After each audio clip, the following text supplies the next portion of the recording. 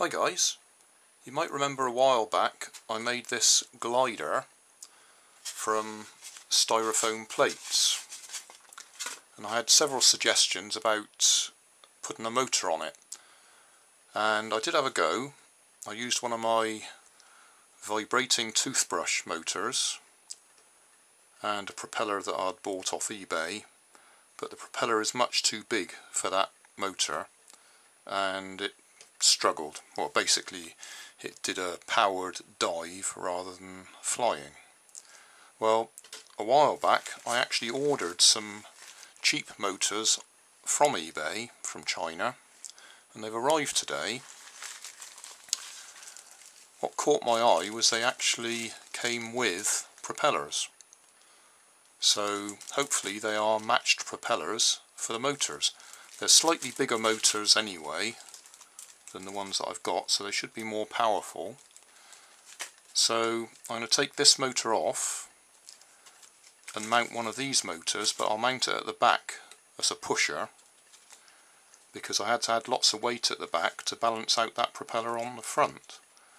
So we'll try it at the back see if we can do it without having to add any extra weight and run it from this supercapacitor which is 2.7 volts 5 farads. So that's what I'll do. I'll stick one of these on the back and see if we can get it to fly. There we are in position. So we've got our on-off switch supercapacitor and motor. I just tried it in the bedroom there and it shot off in a vertical climb. So I'm a bit worried it may go too far quite sure where to go and test fly it now. Certainly makes a difference having a decent motor on there. Those toothbrush motors really don't have any power, not for this sort of application. Although I haven't tried it with the right sized propeller. That might be the next thing to do. Anyway, we'll have to go and test fly this somewhere. I'm just a bit worried it may fly off and I won't be able to find it again. Okay guys, we're in the park.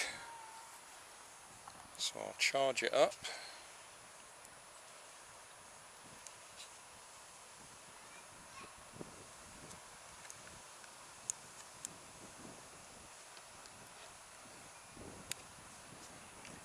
give it about 30 seconds.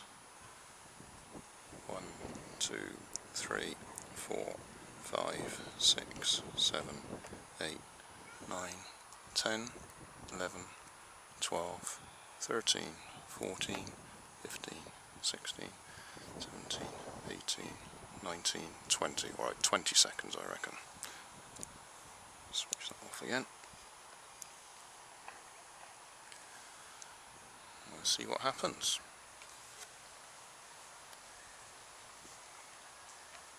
Are we on, Mrs?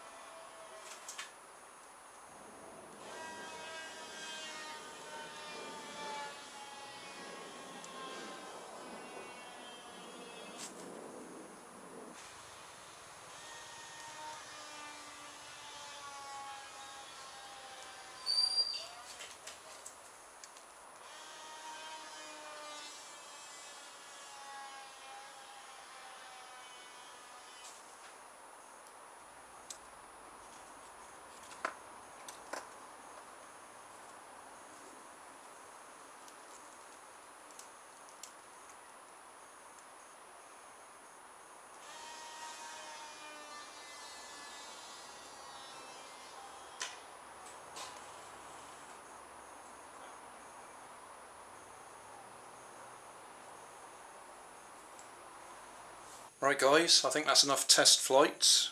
Just had to go over to my neighbours and ask for my toy plane back, which is always a bit embarrassing. Because once I stopped it going in quite such tight circles, it decided to go straight.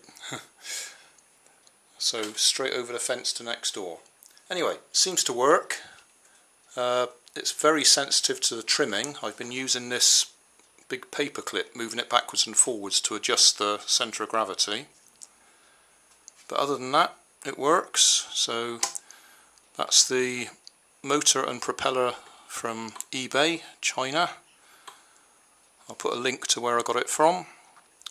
Supercapacitor, on-off switch, and two AA batteries in there to charge it up with. So I'm charging it with about 3 volts, and it's a 2.7 volt capacitor, so that should be fully charging it and it lasts for a few seconds which is enough to make it go round and round in the garden. So I think that's a success. I could spend a lot more time getting the trimming exactly right but I don't think I'll worry about it.